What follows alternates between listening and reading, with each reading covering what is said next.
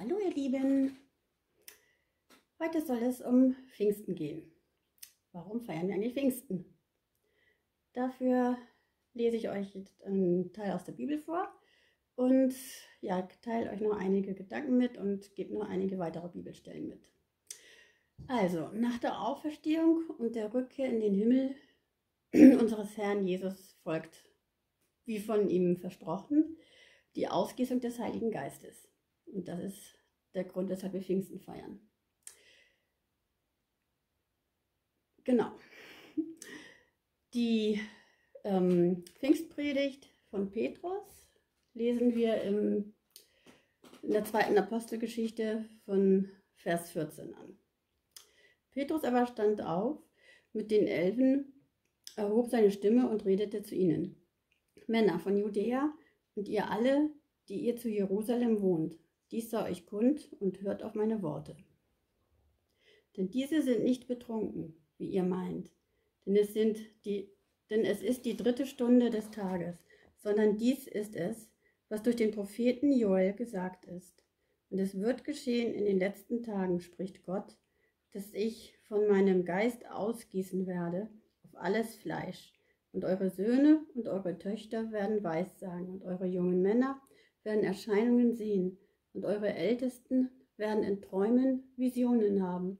Und sogar auf meine Knechte und auf meine Mägde werde ich, ein, in, werde ich in jenen Tagen von meinem Geist ausgießen, und sie werden Weissagen. Und ich werde Wunder tun oben am Himmel und Zeichen unten auf der Erde, Blut und Feuer und qualmender Rauch. Die Sonne wird verwandelt werden in Finsternis und der Mond in Blut, ehe der große und herrliche Tag des Herrn kommt. Und es wird geschehen, jeder, der den Namen des Herrn anrufen wird, wird gerettet werden. Männer von Israel, hört diese Worte. Jesus den Nazoräer, einen Mann, der von Gott euch gegenüber erwiesen worden ist durch Machttaten und Wunder und Zeichen, die Gott durch ihn in eurer Mitte tat, wie ihr selbst wisst. Diesen Mann, der nach dem bestimmten Ratschluss und nach Vorkenntnis Gottes hingegeben worden ist, habt ihr durch die Hand von Gesetzlosen an das Kreuz geschlagen und umgebracht. Den hat Gott auferweckt und um und umge habt ihr umgebracht. Den hat Gott auferweckt, nachdem er die Wehen des Todes aufgelöst hatte. Wie es denn nicht möglich war, dass er von ihm behalten würde, also dass der Tod von ihm behalten würde. Denn David sagte über ihn, ich sah den Herrn alle Zeit vor mir, denn er ist meiner Rechten, denn er ist zu meiner Rechten, damit ich nicht wanke. Darum freut euch, darum freut sich mein Herz und meine Zunge jubelte.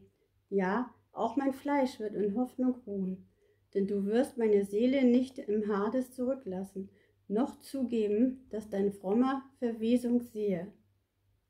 Du hast mir kundgetan Wege des Lebens. Du wirst mich mit Freude erfüllen von deinem Angesicht. Ihr Brüder, es sei erlaubt, mit Freimütigkeit zu euch zu reden über den Patriarchen David, dass er gestorben und begraben und sein Grab bis auf diesen Tag unter uns ist. Da er nun ein Prophet war und wusste, dass Gott ihm mit einem Eid geschworen hatte, einen seiner Nachkommen auf seinen Thron zu setzen, hat er voraussehend von der Auferstehung des Christus geredet, dass er weder im Hades zurückgelassen worden ist, noch sein Fleisch die Verwesung gesehen hat. Diesen Jesus hat Gott auferweckt, wovon wir alle Zeugen sind. Nachdem er nun durch die Rechte Gottes erhöht worden ist und die Verheißung des Heiligen Geistes vom Vater empfangen hat, hat er dieses ausgegossen, was ihr seht und hört. Denn nicht David ist in die Himmel aufgefahren, er sagt aber selbst, der Herr sprach zu meinem, meinem Herrn, setze dich zu meiner Rechten, bis ich deine Feinde lege zum Schemel deiner Füße. Das ganze Haus Israel soll nun zuvor, zuverlässig erkennen, dass Gott ihn sowohl zum Herrn als auch zum Christus gemacht hat. Diesen Jesus, den ihr gekreuzigt habt. In Galater 5, 22 bis 23 steht, dass es um die Frucht des Geistes geht. Das sind Liebe, Freude, Friede, Langmut, Freundlichkeit, Güte, Treue, Sanftmut, Enthaltsamkeit. Wir sollen alle Zeit im Geist wandeln. Galater 5, 16. So ist zum Beispiel die Freude nicht von dieser Welt. Und da diese Welt diese Freude nicht geben kann, kann diese Welt die Freude auch nicht nehmen. Gott ist ein Gott der Freude. Und das sollen wir auch sein. Und das sollen wir auch leben. In Philippa 4,4 steht, freut euch im Herrn alle Zeit.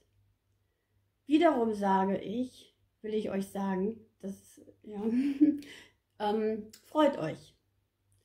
Unser Lebensstil soll Freude sein, egal wie die Umstände sind. 2. Korinther, 2. Korinther 6, 1 bis 10 steht. Als Mitarbeiter aber ermahnen wir auch, dass ihr die Gnade Gottes nicht vergeblich empfangt.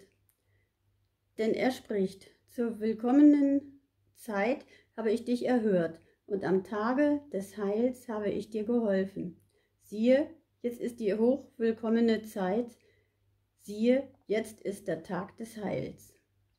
Und wir geben in keiner Sache irgendeinen Anstoß, damit der Dienst nicht verlästert werde, sondern in allen empfehlen wir uns als Gottes Diener, in vielem Ausharren, in Bedrängnissen, in Nöten, in Ängsten, in Schlägen, in Gefängnissen, in Tumulten, in Mühen, in Wachen, in Fasten, in Reinheit, in Erkenntnis, in Langmut, in Güte, im Heiligen Geist, in ungeheuchelter Liebe, im Reden der Wahrheit in der Kraft Gottes, durch die Waffen der Gerechtigkeit zur Rechten und zur Linken und durch Ehre und Unehre, durch böse und gute Nachrede, als Verführer und Wahrhaftiger, als Unbekannte und Wohlbekannte, als Sterbende und siehe, wir leben, als Gezüchtigte und doch nicht getötet. Und jetzt kommt's.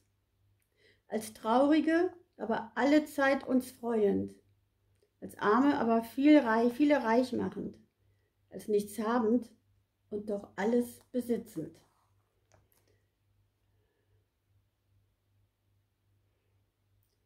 Durch den Heiligen Geist haben wir einen starken Helfer, mehr und mehr zu lernen, diese Freude zu leben. Gerade in dieser Zeit ist es so wichtig, die Geistestaufe empfangen zu haben und somit auch die Sprachen das, und somit auch das Sprachengebet. Nimmt dieses Geschenk an es wird eine sehr große Bereicherung sein. Gerade eben in dieser Zeit, in der wir jetzt sind und in die wir auch noch hineingehen werden. Wir werden die Stärke des Heiligen Geistes brauchen und eben auch die Frucht des Geistes. Ich wünsche euch noch einen gesegneten Rest